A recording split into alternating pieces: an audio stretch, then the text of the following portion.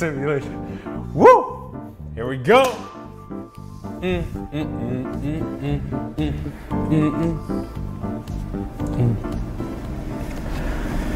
Boom! What's up, everyone? Welcome to Simulation. I'm your host, Allen Saakyan.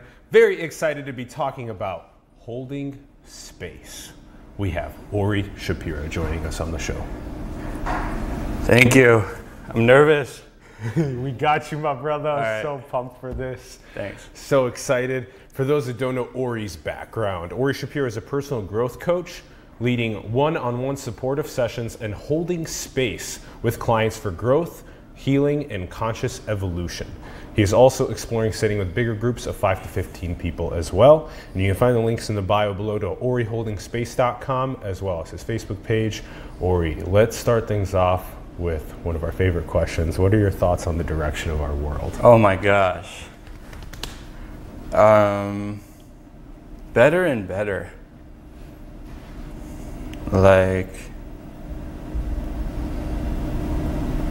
um, it feels like, it feels kind of surreal how that question has transformed for me.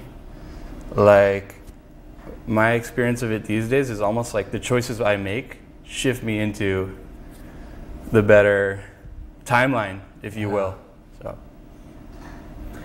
Tell us more about that. um, like my life just feels more and more clean, like more and more pristine. You know, like I've exercised like discernment, you know, in my relationships and uh, my alignment to my purpose and all these things and now like you know like maybe i'll have like some bad conversation with someone and then that night i might have a bad dream. And that'll just remind me that those exist. So it feels like you can you can really garden your life. Like you can really garden your consciousness and that feels internal and external somehow um, if that makes sense mm-hmm. So we can get to a state of our own deepest alignment with our divine purpose. And the more that we get in that direction, the more that it's reflected in our day to day, moment to moment. And we author our own positive or negative worldview at every moment as well. yes And then choosing the positive has made a big difference. Seeing the good has made a big difference. yeah and also facing the negative just Yeah. like meeting it Meeting it. yeah How do you do that? uh, for me it was grieving for me it was journaling and grieving um, This takes us directly into the journey. Let's do it. Okay. yeah for me it was journaling and grieving uh, Where were you born? i was born in mountain view In Mountain View. Okay. And you spent most of your life growing up here in the Bay Area. that's right Okay. um, And who were you growing up? Even pre the jour- journaling and grieving, who were you growing up? who was i Yeah. Oh my gosh.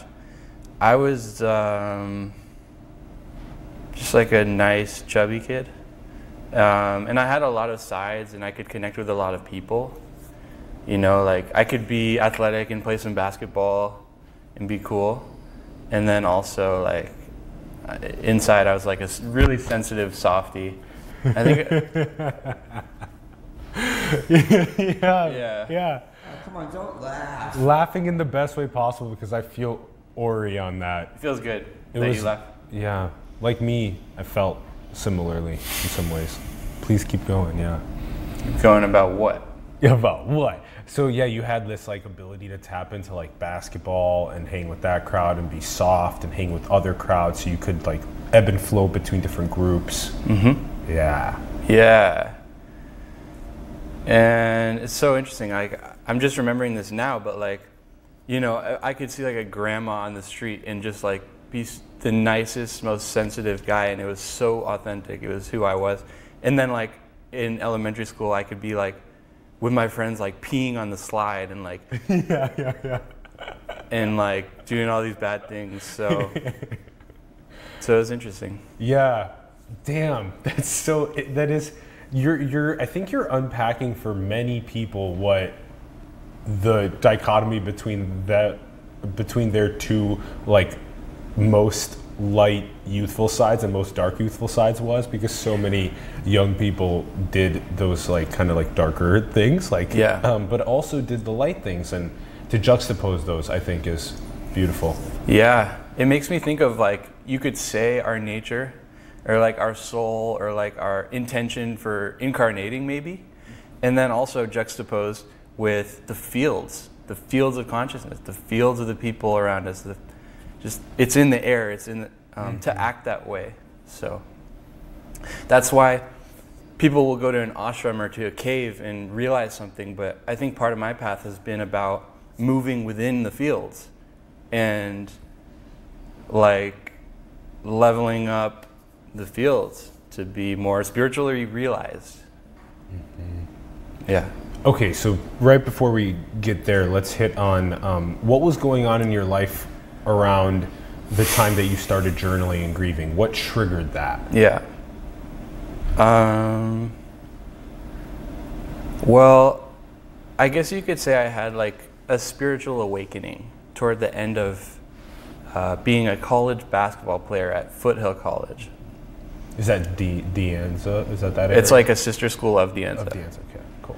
And so I was a basketball player there, and then, um, but I had uh, I had this spiritual awakening toward the end of all of that, and um, it was pretty cool. And then after basketball, and then I kind of uh, I thought that was that. I thought it was a cool experience. What was the experience?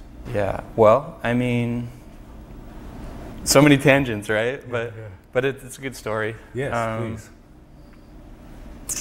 Trying, trying to think of what's relevant in the story.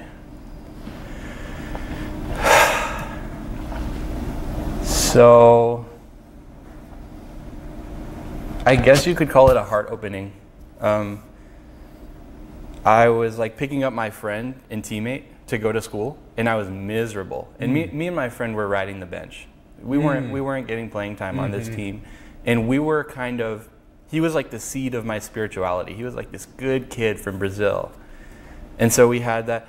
But um, so I picked him up, and we're going to school, and I was miserable, and uh, I, I was particularly miserable, and um, there was this thing in LA. It wasn't on my conscious mind, but there was this event in LA that he was friends with the guy leading it, and he was gonna go. And uh, I thought it sounded so cool, but we had our last basketball game of the season, and so that's just not really an option to miss. When And you're riding the bench. but we're riding the bench. And sure. so, so I'm, I'm picking my friend up, and I'm miserable, like for whatever reason. Like, I'm just like, man, I am so not for going to school right now and going to classes and basketball, and, and then I was like particularly miserable. You know, it was like pretty unbearable, and uh, Were you dangerous?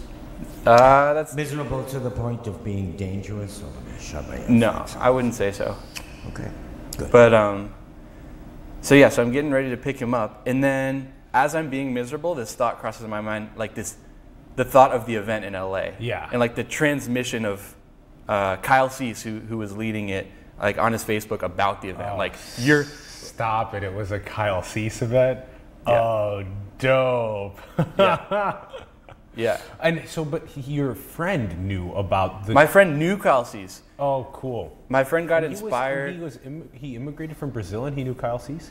So, yeah, basically, my friend got inspired by Kyle Cease's videos, and he made his own, like putting images and music behind him riffing. Yeah. And then it went viral. It became Kyle Cease's most popular video. So then they became friends, and Kyle Cease was like, "Hey, like you and a friend can come to this $400 ticket event for free." Uh, Oh, this in is LA. game over. You got it. Skirt. so my friend's like sending me his Facebook transmission about the event. He's like, "You're unlimited. We're here to play." Like, blah, blah. and I was like, "Whoa!" Like, I haven't heard this before. Um, but I kind of brushed it off because I was just like, "You can't miss a college basketball game in the last one too."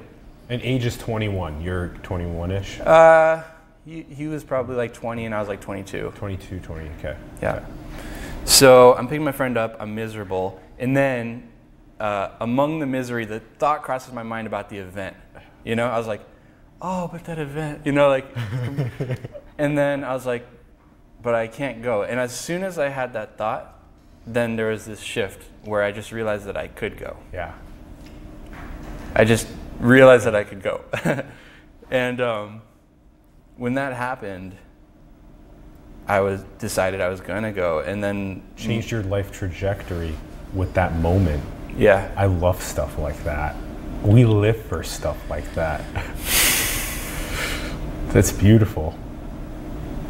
that moment and you the choice that you made, yeah, that altered your trajectory. It's massive. And if we can if other young people that are listening right now have that decision that is like should I go to the thing that I'm just drudging or if there's that moment that I could go and do something that could potentially just change my life trajectory forever, explore that option pick that option see what it does for your life yeah yes, yes. And this felt this felt orchestrated. This felt like there was a timing to it.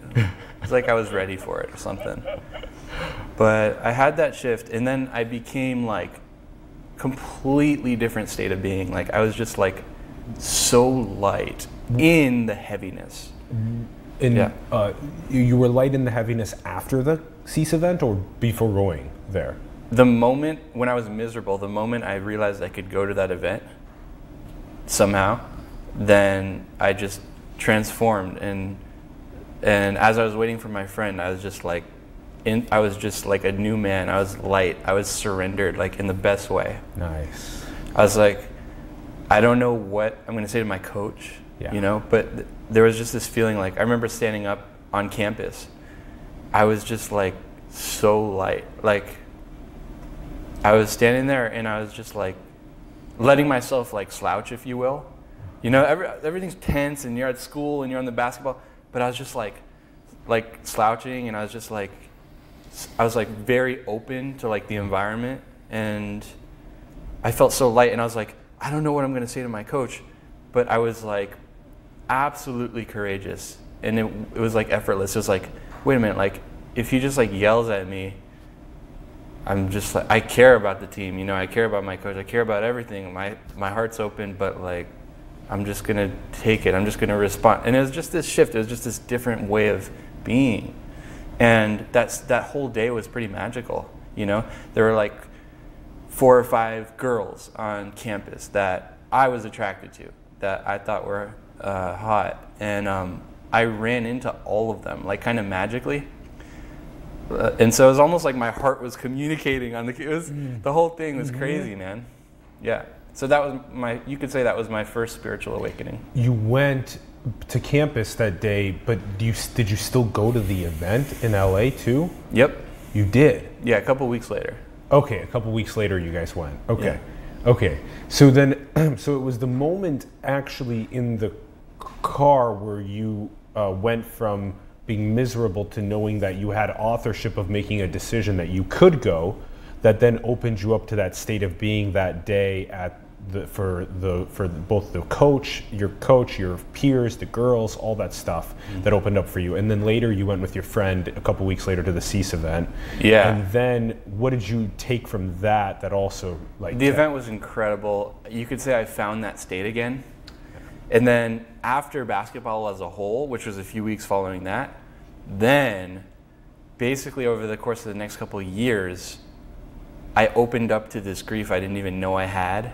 That was like you could say in my cells and it was like deep and transformative and healing and I would journal and I would grieve about stuff that happened in that day that seemed small but whatever my it, I had this ancient well of grief that would get attributed to stuff that was happening. And so I would I would process this grief and then over the course of the next couple of years you, I kind of leveled up my system to be able to hold that state of consciousness from that awakening hmm. Um, You called it an ancient well of Yeah. grief. Damn. I mean, yeah, people have asked me where the grief is from. I mean, honestly, who knows? Uh, maybe it's from our collective. Maybe it's from, uh, you know, my father passed away when I was seven. Maybe it's from that because I remember kind of holding and not crying when everyone else was during that. And then I also have like my grandpa's seven siblings were killed by, in the Holocaust.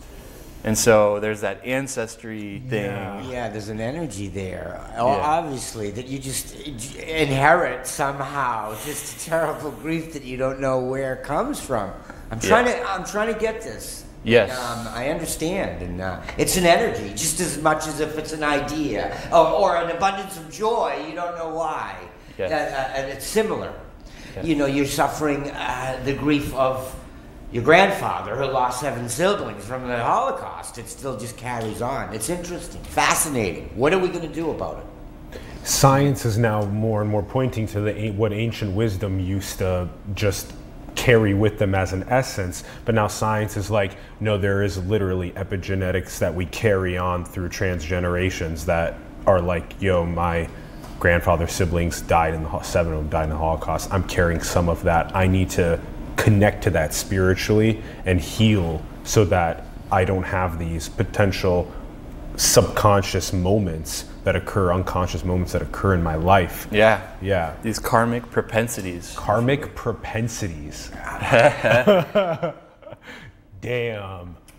Yeah. I don't know if it has any conne- connection to what we're talking about, but I heard a story where there was a native tribe of indigenous pe- uh, peoples in the, um, the Everglades that had committed suicide in a specific area. And later in life, hundreds of years later, there was a plane crash in which the equivalent number of natives who committed suicide were also in this plane crash in this specific area. Mm. I don't know where that mm-hmm. thought came from. I, you know, I don't know if it has any connection to the story, but it's, you know, the Yeah. suggesting these souls that committed suicide also happen to be souls that ended up on this plane destined for, you know, cat, you know, catastrophe. That's the interconnectedness. Like that karmic propensity. Go go ahead, teach us more about that. I don't know. It's just a word that came through. I okay. Mean, okay. yeah. So this ancient well that you're grieving, So you, you have to. You're, what what is the process for you of when you find yourself journaling about something that day or something that's ancient in your family's uh, trauma as well? You're journaling about maybe one of those things or both of those things every day for how many minutes? For how long? No, so most of the journaling was about the present. Okay. And it w- um, but this ancient grief would get attributed to the present or, or journaling about what was real for me journaling about what i cared about the most about that day um, and just getting in touch with that and opening and going deep uh, would kind of like would move the grief like and it was it felt so healing yeah yeah if that makes sense What would it? Yeah, tell us about what it would do with the feeling of the of the grief. Because if you're also journaling about things that went, if you're in the present and there's something that's really ecstatic, you journal about that as well. It's funny because less so. Um, for, yeah, less so. I mean, it just felt so like, like meaty, like to do this grieving. It felt so real. It felt so. Um, it just felt like the most powerful thing I could possibly do. The before and after was like being impaired, like being a drunk person. And then after, I would feel like this saint. Like I would feel like hypersensitive and like mm. just like kind of like that awakening I described. So this grieving process was just, I knew how powerful it was. And it was interesting because I developed health issues. I developed hypertension and a mm. fatty liver, and I became like a hardcore hypochondriac for like a year, and I was bedridden because I, you could say I overdid this grieving because I kind of became addicted to it because it felt so. It sounds like it's, it's, it sounds like there's some sort of uh, satisfaction in there, you know. Yeah. So anyway, um, but what it did do is when I did journal about positive stuff, it felt like it was much more had much more traction. You know, like some spiritual people or personal growth people talk about like positive thinking or law of attraction. And for me, doing this, remember I talked about facing the darkness earlier? Mm-hmm. Like actually facing our like that stuff is the real like that will take you somewhere. Yeah. And like post grieving, if I like did some of that positive thinking or like just like envision stuff I'm excited about. It just felt like way more real. It felt like more uh, like I could believe in it. Okay, so the recommendation then is that, tell me if this is right, that then when we encounter something that may feel like it makes us uneasy in some way, that if we take a moment to tune into ourselves and think and feel where is that making me feel uneasy why is it making me feel uneasy um, how does it actually feel within me can i write about it if i write about it what does that do how do i feel after i write about it Yeah. that kind of a process Exactly. Exactly, man. Yeah, I would. Uh, my journaling quickly kind of became like very distilled. Like I, I became like uh, better and better at um, finding what was alive and just getting in touch with like what I actually cared about, you know? And so I wasn't just like, it wasn't like a very mental journal, it was like a very felt journal. And so sometimes over the course of half an hour, I might write four lines, but feel transformed. But um, so yeah, that was what went down for me. and then um, what was your father passed when you were seven you said Yeah, yeah what was the issue with with your father he got like this rare cancer when I was like seven months old, oh seven months and then died when I, when uh, I was seven. okay wow Yeah, that I mean that makes significant impact on our lives as well. Yeah. So yeah, yeah, for sure, man. and and then you grew up with mom. Then yes, yeah. grew up with mom. Okay. and she was really stressed about that whole being a single mother and stuff. And so I think With th- brothers too and sisters, or I had two older brothers, two older brothers. and so I think I was Three of you with one mom. Yeah. yeah, Yeah. exactly. Yeah. That reminds us of Ronnie. Yeah. So yeah, continue. Yeah, I mean, there's so much to talk about. Who know? I don't know where to start. Okay, so when um, post journaling, this is when you're 22 ish. Yes. Okay, okay. Then what starts coming up for you at that point? You're like, I'm so deeply connecting to the present and how I feel most alive, writing about it. What's going? What's happening in your life at that point? Where is your life going after that? Um. So,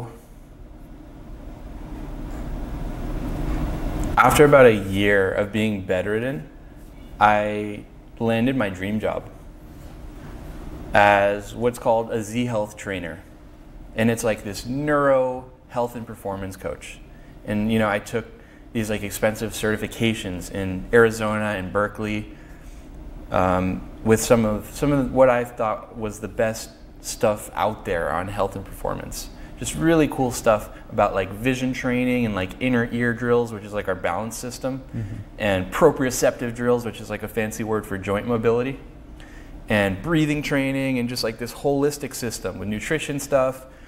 And so I became the Z Health trainer, and I and uh, at, it was my dream job. There was this gym in Berkeley, they, where they had the courses, and then I interned there, and then I became a trainer there for two years.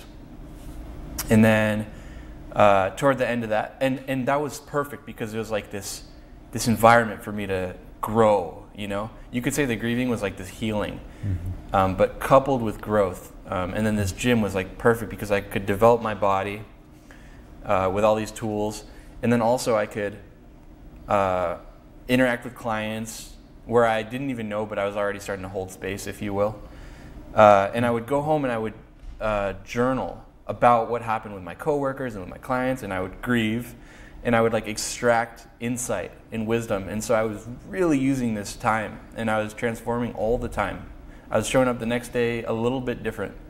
And so after two years of that, uh, I got the gut feeling um, to leave because it started to feel contracting to this whatever was emerging through me, this expansive, accelerated healing and growth process.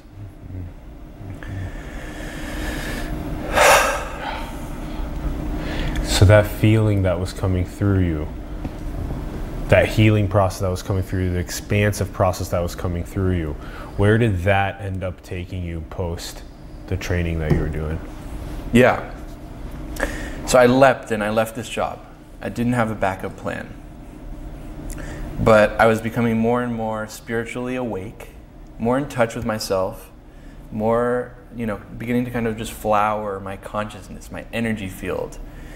I, w- I was becoming, uh, adding depth to who I was, and I was showing up, and I, and I could sense that uh, I was bringing more.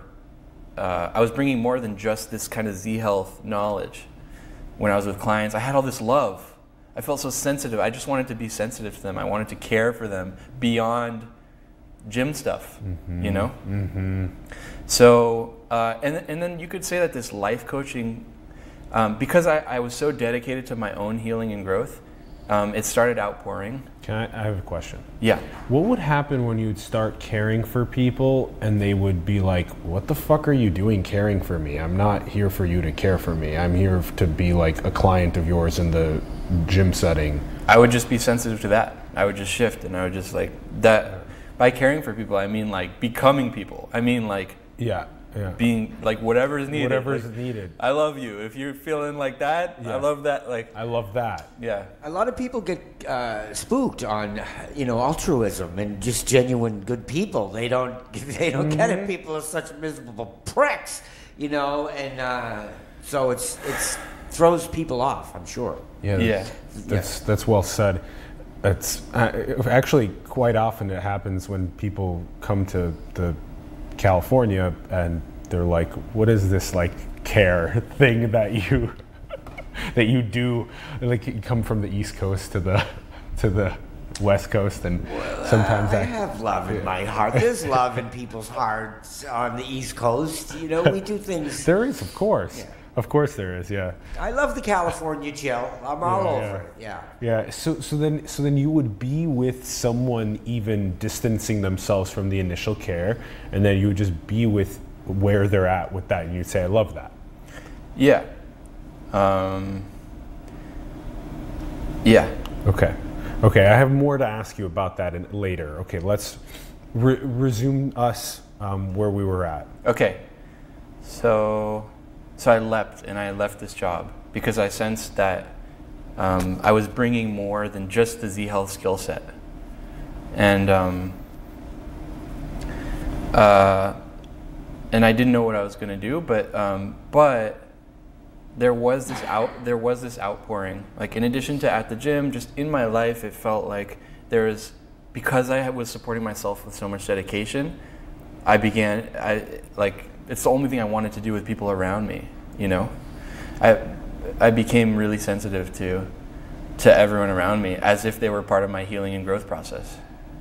And uh, so so I was kind of like this organic life coach. I was kind of like that already. And then six months into my leap, uh, well, the cool thing I'll just share is things showed up.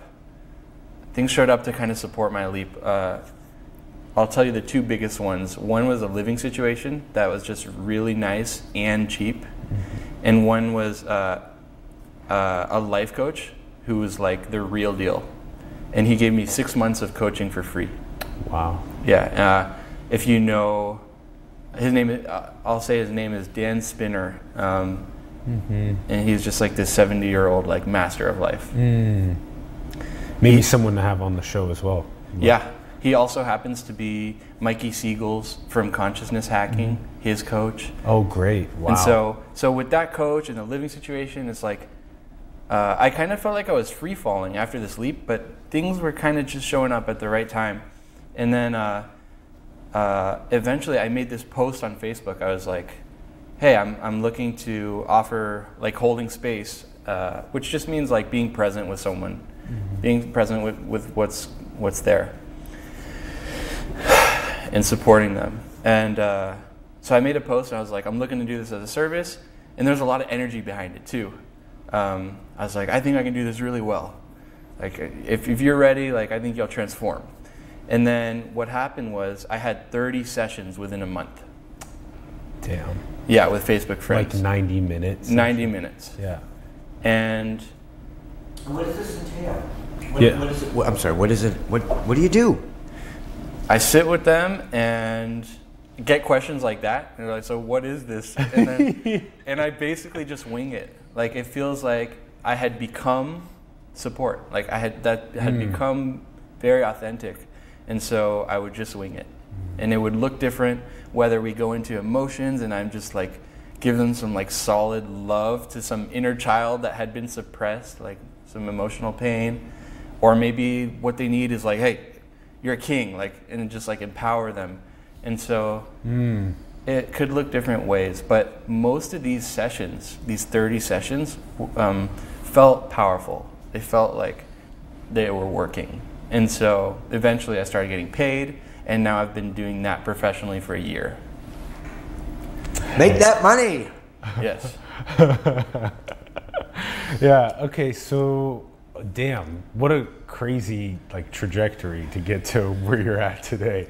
Okay. So, and it, it actually deeply explains a lot of yeah of who you've become. So, thirty of them in a month. You got the good housing situation, got the good life coach, and then uh, just continue doing it for a year, holding space for people, and you would get everything from digging into the and how would yeah? So this, you're not even doing the digging. You're holding the space, and then and then whatever's coming up for them, you're with that. You're present with that. Mm-hmm. So they may wander themselves into the most deepest emotional traumas from their youth or transgenerationally, or they may wander themselves into needing to be the queen or the king, and you support wherever they are at. Yeah. I, we can't do this live because my brother told me not to talk about my mother and father on social media. So I can't, you know, I'd love to do this and talk about this relationship I had with my parents, but my brother said, don't. so I can't. But there is, it does go back. There is, Yeah. you know, this, I can't, you know, as much as, uh, you know, I want to say, oh, I've gotten over a lot of it. I know it's just still, it, it's still there. It exists. It, it, it comes out on, uh, you know, my ability to, um, you know, I- I- interact on certain things. What are your thoughts about someone like that like is trying to like suppress like his brother's trying to like suppress him from being able to talk about his parents? This, this is what we're doing. We're already doing it. He's gonna be pissed. He's gonna be pissed. Let's, yeah, that, that- yeah. Talking about, uh, yeah, and it's not.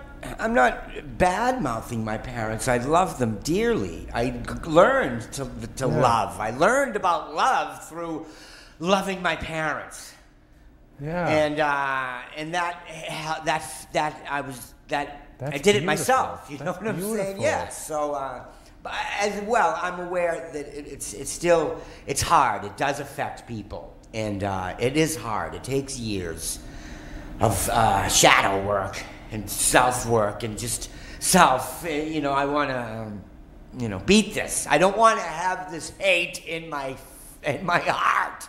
I don't want this hate Yeah. here. So uh, I want to uh, fix it and be a better person. It feels really good to have you share. I'm glad that we're holding space. I want to take full advantage of this show and understand it. You said earlier, well, what, what are we doing? We're holding space now. And I'm like, oh, okay. All right, let me get involved in the show and uh, hold space. So great, Ori. This is fantastic. Thanks, Ron. Yeah, and I apologize early. We should also share the story. When I came in before we had even met, I asked Ori, uh, who do you think would win in a scrap between you and I? It's just a joke that I do often to people, it throws some off. And in this case, yeah, Ori didn't quite know me, and uh, it might have uh. But I'm glad that we're holding space now. And yeah, I sincerely didn't mean to challenge you or anybody that I say that to. And uh, it's all in good fun. You'd kick my ass, Ori. you, who'd win in the scrap? You. You'd kick my ass. I don't know if I have that in me, man. Yeah, I understand that now. I understand that now. and I, I, I'm sorry. It was beautiful reflecting on you connecting with you, you, you, what you learned love through your loving your mom and dad, and also just through your parents. And I don't all- know what you're talking about. and I told and, you. and also just you know Jono, which Stop! is which is Ron's Stop! brother. We, Don't know. I just want to say Let's- we we'll be right back after a word from our, our sponsor. sponsor. I'll kill this show and shut it off. Okay, okay. No, I just it's not necessary. I was I was just I was just saying like there are situations where like families around other families as well, even mine, yours, other families, that it can it's important to be able to talk about the things that we find most important to dig down and understand. And like sometimes it can feel like hard when like someone within my family is trying to like, you know, maybe stop me from doing that. And so this happens actually quite frequently around the world. And so to get, be able to open up vulnerability, to open up to what lies at our deepest parts of our psyche is some of the most things, the things that make us most human. Yes, well said. Well said, brother. I love it. That's why you hold space. These the the deepest parts of our psyche are what makes us most human, and so holding space gets people to wander into those areas with you. Yes. Yes. I really appreciate the stuff that comes through you. I'm I, f- I feel like you are in many ways some some that I, I feel so deeply like live through you viscerally because I also um, feel like as a nerve ending of our collective consciousness you are uh, doing work that I really resonate with so yeah Thanks, man. yeah. So then walk us through some of the you gave us some of the examples, right? You're holding space. Like what do people what do people do right away when they're just like what what's your like most common um, and your most outlier? Man, it's interesting because the truth is, sitting with someone one on one feels um, like I'm still doing it, but I'm starting to get that feeling I got at the gym where I know there's something next, at least in addition. And so, like, when you ask me that question, it's like not even it's not what's been cooking recently. It's not been in the forefront of my mind. I I still have that ability. I mean, it, it actually feels like um, I So after a session supporting someone, th- there's a transformation, and then leaving that, I feel transformed. You know, after you heal your nervous system, you open to yourself. Um, it feels like your own healing work. Yeah. And so I would just walk light post session, and that process hasn't stopped. Um, it almost feels like each session gets integrated into my energy field, and then um, wherever I go, it's like that's it's like they're accolades, like these energetic accolades that that has happened. And um, Well, that's But- well said. Yeah, yeah, and um, an energetic accolade that you now have embodied into your essence because you've experienced that. Exactly. And um, so now it might look a lot different than before. Like maybe now I really can just like sit quietly and like people can just like it can they can just very naturally it can they they can heal themselves maybe and I'm just sitting here. Like you could say that Ron began to do that. It, we do. We do. We can uh, give us, ourselves, uh, you know, therapy along the way when we when we talk to people and just uh, that exchange, healing oneself. We, it, yeah, I don't. I got nothing. It's Yeah, we you have to do it. You have to do whatever it takes. And if you need to, and and if you feel you want to sit down with somebody that you can genuinely trust, uh, you know, do whatever it takes. Yeah. Uh, all it took me was about 36 years of uh, awareness and about $40,000 worth of cocaine, and I'm a, I'm, a, I'm a miracle of modern science. Oh my gosh. So, Thanks for sharing. yeah, my pleasure. Yeah. Say no to drugs, kids.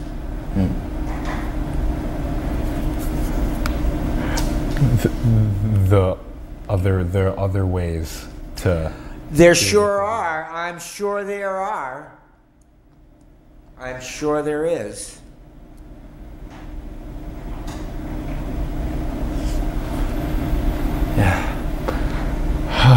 I like how real it just got. Well, I'm not. I don't. Uh, I don't really have anything to hide in that sense. You know, I've been using drugs since I was 12 years old when I started with marijuana. You know, and that's about where it usually comes knocking on the doors of our children. I have a 11 and 13 year old niece that I'm uh, concerned with. I'd like to steer them away from that for as long as possible, including alcohol. You know, so. Um, uh, you know, I, I understand there, there, there are other ways, but there's also, you know, go, don't go telling a, a, a, a, young girl who's just been, you know, uh, who lived a life being raped by her horny brothers, uh, and don't tell her, you know, don't try to, you know, psychoanalyze and, you know, you're not going to, therapy is not going to fucking work. Years of therapy talk, you know, there's, there's, there's drugs out there for that. That's very painful. Don't, you know, there's a reason why these drugs are among us that also kill us. Yeah. You know, there's when, when, when, when heroin people overdose, th- that's what they ultimately want.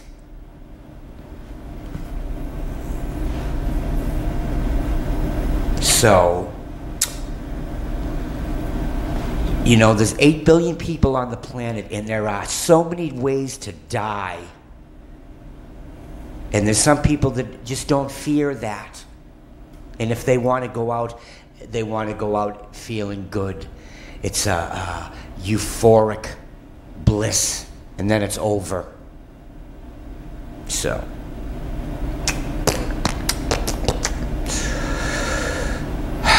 I'm grateful for every I'm grateful I'm a survivor, but I have no regrets going out of my drug use. I'm glad that uh, I'm not a big heroin user. Found it boring, the whole opioid thing. Crystal meth. I don't want to stay up for a week.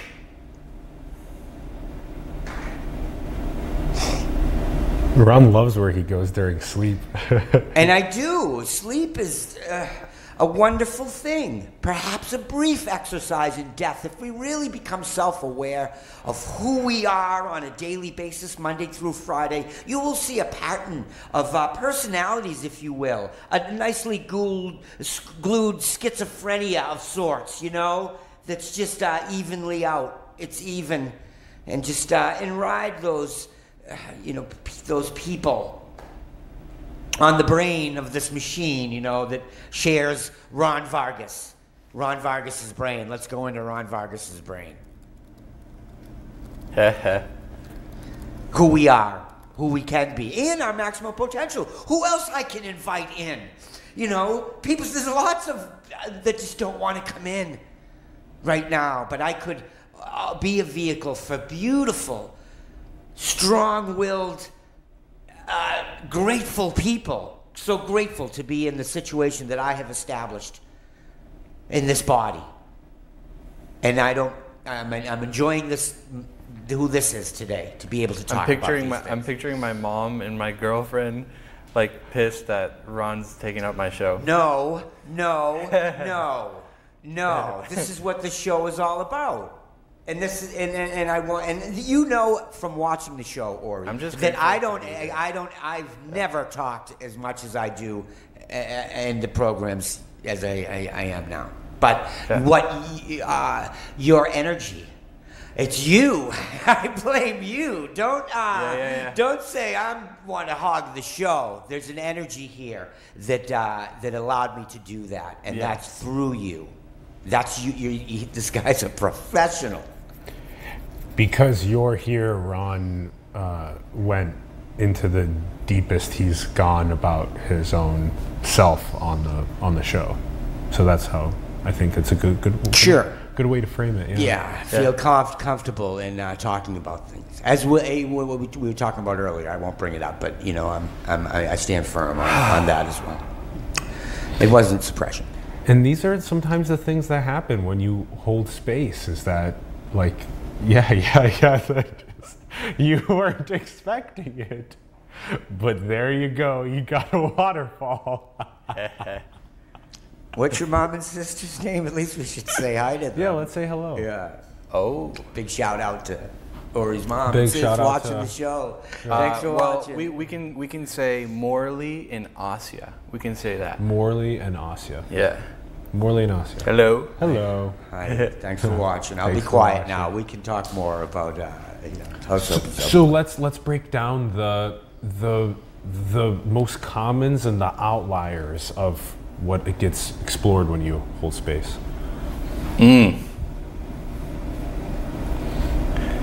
When, when you say that, the thing that comes to mind is like, but wait, like now I'm interested in um, uh, in working with groups in events. Yeah. Um, yeah, that's what came through. and have fun with it. No, I'm s- I'm seeing a, a, a, a fun engagement. You know, this is kind of So fun. Yes, yes.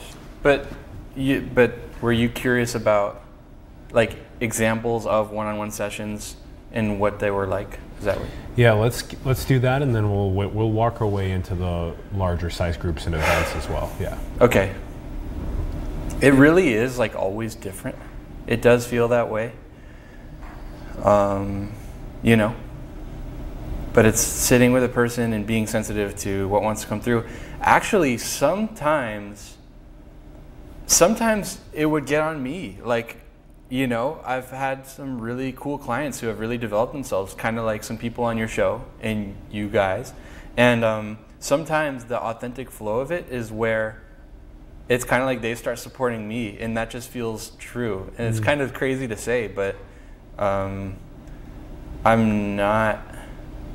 Yeah, yeah, you know, like the thing that comes to mind is this guy Dor, who lives at the Kohack House, the consciousness hacking house, and like half our sessions would be him uh, uh, supporting me in a sense. So it's like we talked about energetic accolades, right? So he has these accolades of like this really smart, like successful, older guy in the world who's like done big business things and like I think he went to the Israeli army and like so there was something there for me to integrate. And that's usually the case. If with two human beings like we're gonna pick up some accolades along the way. It's not about it's not like uh, I'm just like this absolute coach you know? I hope that kind of answers. Oh yeah. That similarly happens on the program is that the person like shines at their best teaching about what they're caring about and inspiring other people, but also we get to learn so much. We level up by listening to them and and yeah, and get further on our synthesis. yes Yeah. So that that does totally resonate. So then get like give us the most you know give us the most common like thing that people go to. Uh, Okay. Also one of some of the outliers. Mm-hmm. yeah well it can yeah so Do you want more water by the way? um, yeah that'd be Could great you grab some? Thank you. Thanks, Ron. yeah Okay. Yeah. So give us common and outliers. All right. So I would say, thanks, Ron. Welcome. Thank you, brother. I had the camera. Hey. I had you on the- so I would say the most common thing is like this kind of meeting the darkness thing because that's what I really like. It just feels healing and real. And so that can be grief like with me or like shame and that might take like 40 minutes to gain the, the comfort and or maybe less nowadays um, but so maybe the most common is like some sort of emotional opening and like processing and like loving you know like us just holding that and caring uh, and that feels good i think that can really there's nothing like emotions, you know, in terms of feeling transformed and really good. But um, sometimes it can be just playful, you know, like um, I've had, you know, there's this one guy who was like, uh, you know, we were in his like business office and I was like, why are you scared to be intense? Like just intuitively, I knew that was there was like a lion, but like he wasn't expressing it. And so he got up and he pushed me over the chair. I fell to the ground. and there was a space there that that could happen. You know, we put um, so you know whether the however the being wants to expand whether there wants some energies want to express you know there was a woman whose brothers whose brother was killed by the cuban government like decades ago and she has this like rage like this absolute anger. And um, what i got her and, and now she has all these health issues and anxiety but what i got her to do in a session was to find those energies feel them with me like get to it go there and then share what the message of them is. So for example, like mm-hmm. and and you can get a really clean like expression of the message, right? Cuz maybe like maybe like on the surface cuz I journaled so much, I got good at like distilling like the heart messages, like the essence, the undistorted messages of emotions and energies. So maybe before doing that distillation, it might be like, oh yeah, what I want to say to the Cuban government is like, fuck you, motherfucker. But um, but maybe after it's like, you're not helping, and then like some really like juicy like gaze that just like shares the, emo- and then um, so um, Undistorted messages of emotion. Yeah. yeah, yeah. Um, Do you write poetry? what's that, Ron? Do you write poetry? Do you, you know, you do the journal? You, you're talking about journals? I've written poetry uh, sporadically. More of a journaler. I do like writing poetry, but I don't do it that much. What does it? What's the difference between um, the two the examples that you just gave there? Sometimes it may be like we go with this initial gut instinct of doing something like raging. Is that an undistorted message of emotion? Or if you were to hold space with me and we were to get to that point, you know, what is it exactly? Where did that come from? Be there with it and then come again, it would be less distorted. What do you mean? I don't know if. I, So, like, sometimes that initial outburst that we have of emotion, if you would hold space with us and like, I'm get- curious what emotion you have right now. Like, what's the energy? Because I feel something. I feel something kind of dense. I feel that more than the words you're speaking because I'm so sensitive. And so hmm. I'm feeling curious about it. Hmm. Yeah. Hmm. I don't know what the denseness is. It's definitely felt like uh like reconnecting to all that is several times throughout the show to kind of yeah, to kind of put myself into the oneness several times throughout the show because that's how I feel when I'm around you. Like I'm able to tap into that deeper, more frequent. So I wonder what the denseness is too. Then I don't Should know. I try to intuitively read you? Sure. Yeah. Okay.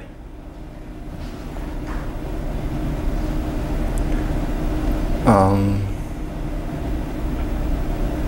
it's very deep. Like it's like uh, maybe like a hurt.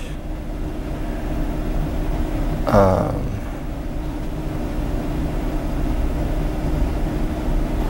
this is just something a story, but like I have this image of like a kid who didn't get what he wants.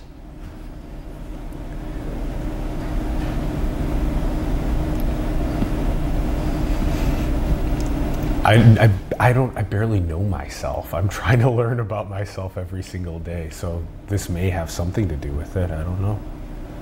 Yeah. Yeah. Sometimes we can say things like that, like Yeah. something that's deep, something that hurts, something that is like a kid not getting what they want. And it can be like pretty applicable to like a lot of people, right? Yeah. Yeah. Yeah. Yeah. Yeah. Yeah. Appreciate you going there a little with me. yeah, yeah. It's a it's a it's a fun thing. I mean, like to be able to practice, like you said, that intuiting through eye gazing. Is that a major component of it? That you stay eye to eye locked with the person you're holding space with? Yeah, just to try to like just to try to read like what their eyes are saying. There have been some sessions where like the whole thing or or at least like the culmination is like this reading of like all these feelings and who knows like how spot on like you said like we don't even know what we are like we just have these energies and you could say they're collective energies but um but yeah this it can be really healing to, to be seen in these energies you know yeah sh- should we keep going Sure. What time? Yeah, 55. Well, yeah, I mean, it's a good. Sure, you mean we keep go, could- keep going, keep going in the unpacking of what we were doing between um, us on like what we thought was dense, or what, where we were just at with the eye contact and what you do in the sessions. Which one of those? the first The first one, what was dense? Okay, interesting. Yeah, I, um, yeah, I, w- I would like to as well. i let's see where it goes. Okay, so like, so what if you allow yourself to go back to that sense of being heavy with me? Okay, all right, let's do it. All right. Wow, it already doesn't feel as good. I don't know why. Got it. I Yeah. like feeling light a lot. Mm. Yeah. Well, dude, you're talking to the heaviness king. I've spent a lot of time um, surrendering to heaviness. If you Okay. want to. Let's surrender to heaviness. Okay. All right, let's do it. Okay. you're bracing yourself. yeah, yeah. Man, yeah. Okay. All right, where do we go from here? Okay, so I'll just share what I'm noticing, which is that I really feel my body in the chair right now. Like I was not feeling my body in the chair that much earlier. I was feeling kind of more like light, and now I feel yeah. Okay. All right. Go ahead. So, so what's it like to start to let yourself feel heavy? Uh,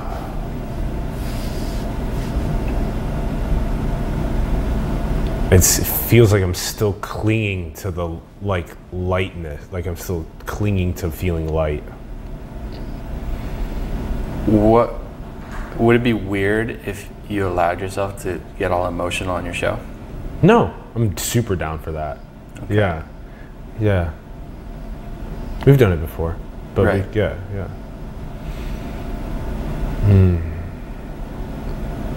Just allowing the energy to take you.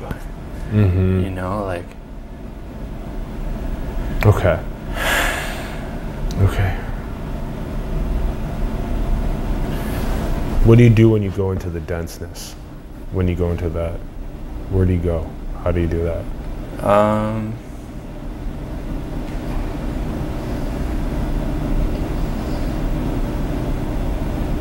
I just maintain my breathing and give up everything else. Okay. So, yeah, like almost like you let yourself drown. Okay.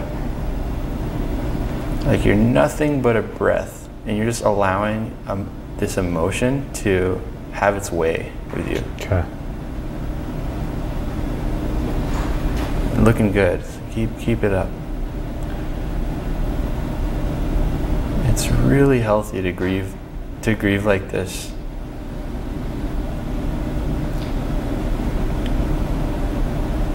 Um,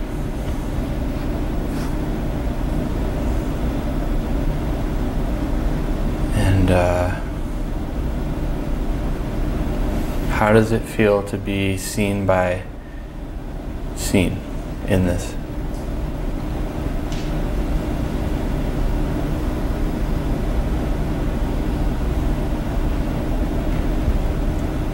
I feel like it's important. So, There's not a lot of room in our culture for this Yeah. socially. Yeah, yeah, correct.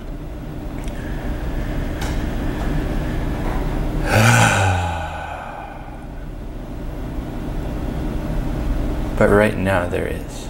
Yeah. Hmm. Yeah, the first things that come up when I go to that density, when I'm in that state of breath and density, it is like, you know, who who was who was I growing up? You know, what inputs did I take in from my family and my environment, from the genetics as well as from the environment, Yes. to become who I am now. And then what do I not know about myself regarding that all all those stimuli that I don't know about? Right. And if I learn about them that they can help unleash me at my fullest better. Yes. Do you feel this heaviness at all being digested by us? You feel like there's. Yeah. Yeah, as we talk about it it is. Yeah. Yeah. So I live for that. Hmm. So creating the space that makes it easy for people to be with you in the process of digesting density. yeah. It's cool. Uh, yeah, man. I feel like we're just tapping in. We were just tapping in, yeah. But uh, thank you for going there because that can be hard to do for some people. But I know you've worked on yourself a lot, so And we can um, also revisit this another um, time down the line where we just start the episode by um, diving into density with maybe um, Ron. Um, yeah. Um, yeah, something like that. Yeah, that could be interesting. All right. Um, let's let's um, let's visit the.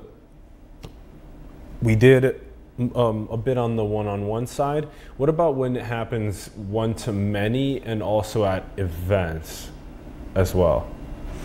yeah. Um, so this holding space, it feels like the coolest thing about it is that I'm like a vessel for it, more than anything else. Not a coach. Not a. I can be those expressions as this more faceless vessel that can become what's needed. And um, there's a sense of being with someone one on one. The vessel kept developing. Like I would have all these like people talk about kundalini awakenings. I would have these energetic openings, and I would have all this breath holding like exercises that would just happen. Like it's almost like my body knew its own yoga that was like emerging through me, and like this quote unquote vessel would just transform to be a better and better space holder. And so then there was a sense, okay, being one on one with someone is beautiful, but I can feel that there, I can hold more. There's this capacity here to hold more. And so I had two cool 15 person sessions. I, I did one at a church uh, in Palo Alto, and I did one at the Consciousness Hacking House for my birthday. Uh, and they were both really awesome. And um, that was a fun exploration to hold maybe some heaviness with a group uh, and maybe maybe lead some connection games and things like that. And so that's one thing. That's one thing that's also on the frontier, just like being with groups and playing with that. Sometimes I, sometimes I, my dream is just to just like, just to be there and just hold space without even talking, and like people don't even have to look at me. Like they can just, like remember that party uh, at the end of Awaken Futures Summit? I remember just sitting on the floor and kind of meditating, but when I meditate, it's not like okay, boundary, like let me like attune to this. No, it's like uh, it's like Hmm. really just like opening to the space and mm-hmm. like holding it. Hmm. So so in terms of the what's next from the one-on-one thing. It's working with groups and also just like holding events, if you will, just like being with the whole thing and just like hmm. interacting with it as if it were a session, which is kind of funny to say, but I love that. yeah, It's a big organism. Yes, And the different components of the organism, in many ways, are the humans that are at- in attendance and the way that they're interfacing with each other, the Yes. relationships between them. Yes. And so when you are there, like at Awaken Futures, like behind the front desk tables, and you're standing there all like, I'm here. And like that's what you give off to people is like, I'm here and then they'll see that and they have the potential to engage with you. And at that point then for wherever they need wherever they're at and it varies between the people that come up to you that you can then engage them and hold space for them at an event right, and help the trajectory of that component of the organism. Yes, i love that. Yes. that's great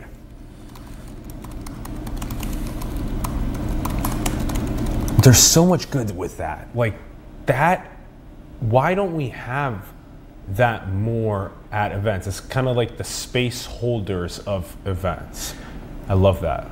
Yeah, ah so that's one of the next ori holding space.com's uh, availability. So ori's gonna that's what's been marinating. Yeah, that's that good. I like that. that container, which is which I think is going to be showing up more in our future. It's going to be more of a real thing that's not under the radar. I think it'll be less under the radar. More people will know about this. Yeah, yeah, like a holding space. Should the holding space area be very easily visible so I will know exactly where it is at an event, or do you want it to be baked, baked more, um, uh, l- less? These are the questions yeah, we need to be asking. Yeah, I'm glad you enjoyed that question. So teach us, conspicuous or inconspicuous, which one is better for? Speaking of which, I have a question. You should solicit your service to uh, law enforcement to I- interrogate suspected criminals. You can instead of uh, this is awful, by the way. This suggestion it's totally devil's advocate, you know. But you know, you could interrogate these people by holding space, and they would just willfully, you know, start from the bottom where it all comes from, and this, and then of course I ended up you know, stabbing her. They would commit and confess to the crime. No, is, is that not? This, Uh, I Could it work for that? You think? I would just be interested to like evolve. I don't want to interrogate anyone. Like I would just be like, yeah, non-interrogation. I would just want to raise the vibe by. Yeah. you do. That's that's what I'm saying. There's a vibe there that, you know, it, it allows me to surrender. Whereas maybe the old method is this like hardcore interrogation in that setting. Maybe there's space for uh, someone to come in that is better at holding space to engage with someone that may have committed a crime and to and to raise, like you said, the consciousness in that environment to where the person feels like they actually want to work through what happened. Yeah. Uh, however, when th- what they've done is going to send them to jail for the rest of their life, they're going to be a little apt to uh, Or- really or to be a maybe liar. Not, maybe not. Yeah, that doesn't necessarily have to. There's all kinds of factors, you know. Yeah, totally. Yeah. The things. yeah. So then, okay, let's talk about this. On one side, we have the conspicuous placement of the holding space people at an event. Right. So they're very visible. Yeah. On the other side, we have kind of like, I don't know, like what would it look like if it was inconspicuous? Like just some person kind of hanging out and being present. How would it look like? Yeah, tell, tell us about this. And which one do you think is good? Should we? How can we test these? That's a great question. Yeah. So I feel like up until now, I've been embodying inconspicuous a lot. Mm-hmm. I've been going to all kinds of events and exploring this. I drove to LA to like go to a documentary screening and like support their cause, but also explore this. Mm-hmm. And I'm, um, and I went to uh, like a march for the climate change Mm-hmm. and just different things. So up till now, it's been inconspicuous. Um, but I do think it's of of value to have a place in the world when you're doing this kind of work, um, and for people's conscious minds to to know about it. Um, some people that really inspire me are these like spiritual heavyweights, like this guy Sadhguru, who has yeah, we love you know him. We love him. Yeah. So uh, if you go to Spiritual heavyweight. yeah, these there's these like Yeah. enlightened sages out, like Amma, the hugging saint. Mm-hmm. You know, uh, do you know about her? Uh-uh. What's her name again? Amma, A M M A. A M M A. Yeah, I would call her a heavyweight as well. Spiritual heavyweights. Interesting. Um, like and so, so you better believe, like, if you're in Amma or Sadhguru's like quote unquote field, Mm. like that, there's something there. Like it means something. Um, Yeah. um, and so, but they would be uh, conspicuously doing it. Yeah. Yeah. They have a place in the world, like an official place. They're not do- They're not under the radar about what they're doing. Totally. When you're in their field, it's evident that there is something happening between them and the other people that are in that field that is about raising the consciousness. Yeah. And why would we ever carry ourselves in a way that isn't that? Because everywhere I go now, I'm trying to carry the most light with me all the time. Mm-hmm. And it emerges out of all of the actions. Today, for an hour and a half of working out, laying out in the grass, and get, like talking to people on the run, all the stuff that I was doing, that people were lit up mm. in their engagements with me about everything in life. Mm-hmm. And it was just so fun how we can do, like, why would we ever not do that? We are a direct mirror. Our worldview and our mindset directly mirrors into civilization. So if we are agitated, upset, pissed off, we're going to encounter that essence in the exterior world. And if we are happy, light, all that stuff, we're going to encounter and spread that. The butterfly effect, law of attraction, so many of these ways of putting it. Why would we ever do the other one? The other one. yeah. It doesn't even make it doesn't make sense. Like we want to train ourselves to, like you said, Sadhguru, Amma, that spiritual heavyweight. But we also want to not take on so much from other people that we don't have our own that it can off ground ourselves sometimes with the spiritual heavyweights it's really hard to like off ground them but unground them yeah yeah yeah Yeah. Yeah. I'm, gl- I'm glad that you that you've been even traveling as well to events to explore what it looks like to be doing this. And you said you were doing it you were doing it inconspicuously. Yeah. Okay, you were doing it in like a more hidden way, just present but not announcing it, holding space sign. Yeah. Exactly. Yeah. Well, you were doing that at Awaken Futures too, inconspicuously. I would say so. Yeah. Okay. And you'd say that some of the spiritual heavyweights do it conspicuously. Um, yeah, and just in general, like in our culture, in our society, whoever is like leading, like, um, my experience of it is anywhere you go, the space is being held. It's like there's a consciousness to that place. And usually, culturally, like it's like the speaker or like the person running the thing, you know? But my experience is that that doesn't have to be the case. Mm-hmm. That it can be found around the event as well, not with the non-speakers. Yeah, that's yeah, great. so it's like maybe a person on stage is, is leading a talk or something, and then in a sense, they're holding space because their consciousness, um, everyone in the room is kind of like uh, absorbing it. Like everyone's swimming in their space to an extent. yes. And I think that, like you said, I think this can be done conspicuously and inconspicuously, probably. Yeah, yeah. Um, did we show them the image at least throughout of um, Ori holding space?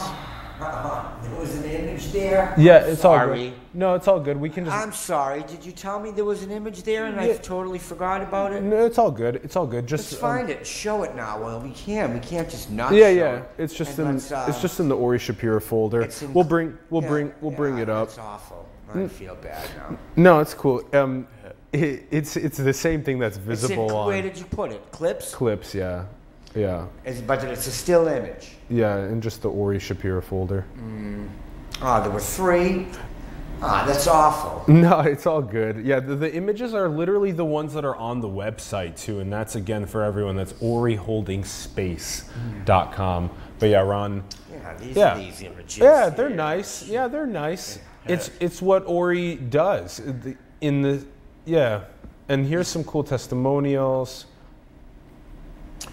I'm sorry, Ori. I didn't know they were there. Where was my head at? There was assets, and we didn't run them uh, during the show. It's all it's all good. all right. Yeah, that's why we, we got him now. We got him now. I'm losing my, I'm, I'm, I'm losing my mind. I'm afraid.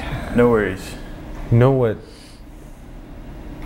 When we when we when we have you back, we can also bring on other leaders in the space, and that'll be really interesting. Yeah, Yeah. do a little roundtable on holding space and spiritual development, conscious evolution. Yeah, yeah, Mm, yeah, yeah, cool. Okay. Um, do you feel like we covered? Well, we have to change. Yeah. Um, Feel- yeah, this yeah. feels good. I Feels mean, good too. Yeah. Yeah. Okay. Okay, cool. Um, let's ask you a couple quick questions on the way out. All right. Um, do you think that we come from anywhere before birth into the earth suits? And then do you think we go somewhere after death? Uh, I think I'm living in a reality that where that is likely, and maybe all perspectives can be true. Okay. okay. Um, um, maybe th- th- could potentially be countered if, like, you know, are we, you know, that's the whole thing of like, is there a cow that's currently orbiting around the sun, like near the orbit of Mercury or whatever, right? Right. Am I a butterfly dreaming of being a man? Yeah. So I, I mean, You know, so the whole yeah. like, can everything be true thing is like, can it? Yeah, so uh, so what you just offered, Mm-hmm. It feels true. Like based on what I've been seeing and doing in the past year or whatever. But if you asked me that five years ago, it would have felt completely untrue. Okay, so the idea is that all potential out of the possibility space is so infinite that there is a cow orbiting a star by Mercury somewhere. Is that the? I don't know about that, but it feels like it feels like um, somehow like I have shifted into a reality that's different. Like where what you offered feels like it's true, and maybe there's other people watching this or in the world where they think that's not true, and maybe that is not true, and will continue to be not true in their like timeline, if you will. Now, are all possible expressions of the simulation, um, including the cow one, um, there? Maybe not. I'm not sure. And then, what's the most controversial belief you hold? Mm.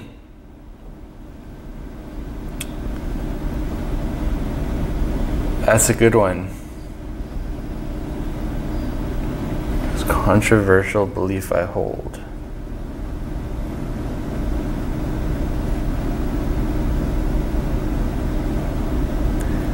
Um, probably like something related to like magic being real and like kind of these more out there concept that we kind of teetered. Um, probably something like that. In general, I'm not big on beliefs. You know, I'm just like I ha- I live with a lot of I don't know. Yeah. Yeah. And then, do you think we're alone in the cosmos? No. At the least, we're not alone if you factor like other dimensions, like interdimensions and stuff. But What are in those other dimensions? You, I mean, you could call them aliens, you could call them beings, you could call them energy forms, you can call them spirits, and I haven't even done that much exploring relative to other people. But it does feel like there's something there. Do you think we're in a simulation? Um, I think we're in something interesting. I think we're in something like intelligent and like fascinating and like mysterious. Um, so pick your word, you know. Yeah. Yeah, re- recently I've I really like the word God. Yeah. You know, I'm not religious, but Me too. Yeah. yeah. I do too. I really like it too. Yeah. nice. It does a good job at summarizing all that is. Yes. Yeah. Well, God is just dog spelled backwards. I just want to remind you. you know. This is true. Last question. What is the most beautiful thing in the world? Mm.